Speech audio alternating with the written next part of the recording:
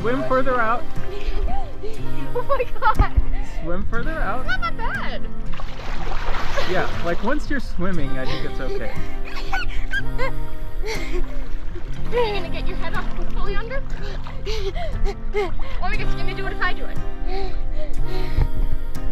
No? So if I put my head under, you're not going to.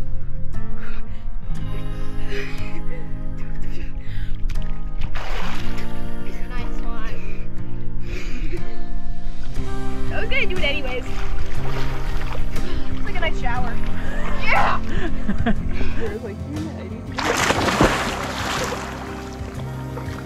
Are your underwear intact?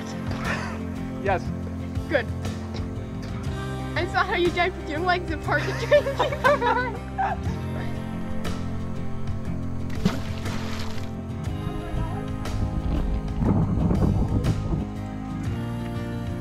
Okay, everybody, take one step back.